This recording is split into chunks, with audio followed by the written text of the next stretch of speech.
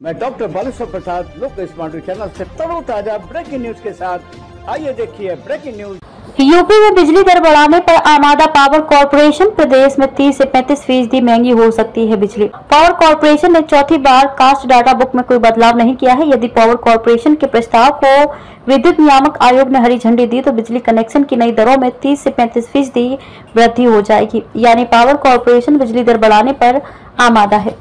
सितंबर में power corporation में विद्युत वितरण नियमों की ओर से नियामक आयोग में प्रस्ताव भेजा था। भारी विरोध के बाद आयोग ने दरें संशोधित कर प्रस्ताव देने का निर्देश दिया था, लेकिन 11 अक्टूबर को दाखिल किए गए संशोधित कास्ट डाटा बुक में कोई बदलाव नहीं किया गया है।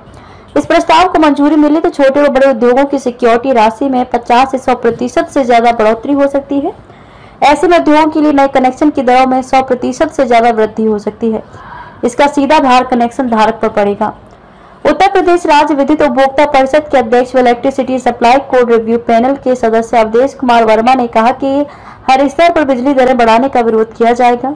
जल्द ही जब आयोग रिव्यू पैनल सब कमेटी की बैठक बुलाएगा तो उसमें अव्यवहारिक दरों का विरोध करेंगे।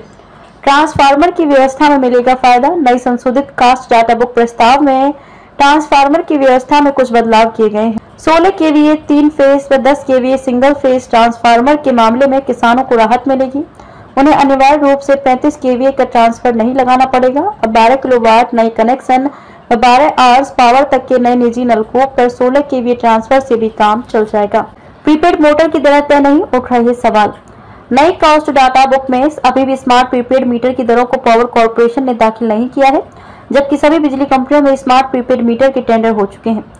फाइनल और नई दरें तय हो चुकी हैं, ऐसे में दरों को न प्रस्तावित करने को लेकर सवाल उठ रहे हैं। आयोग की ओर से बुलाई जाने वाली सप्लाई कोड रिव्यू पैनल की बैठक में उपभोक्ता परिषद इस बढ़ोतरी का विरोध करेगा। साथ ही पैनल की बैठक में उपभोक्ता परिषद उपभोक्ता सामग्री की गैर तर्क संगत दरों को लेकर भी खुलासा करेगा।